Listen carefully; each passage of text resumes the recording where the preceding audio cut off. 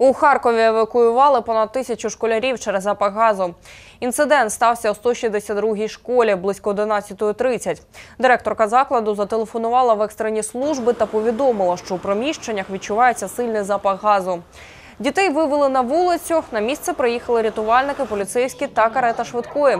Медична допомога нікому не знадобилась. Через годину навчання продовжили. Обставини події з'ясовує поліція. За попередньою інформацією, двоє восьмикласників розпилили перцевий балончик у шкільному туалеті. На їхніх батьків будуть оформлені адмінпротоколи через невиконання батьківських обов'язків.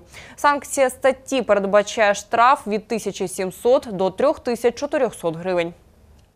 До приїзду наших підрозділів адміністрація цієї школи вони вивели на свіже повітря біля 1200 як учнів, так і вчителів. Е, Потім в ці приміщення, де були ці запахи, вони е, відкрили вікна.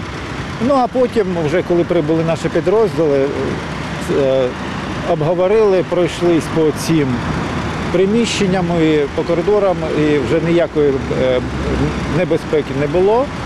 І вже адміністрація прийняла рішення, що заняття продовжуються.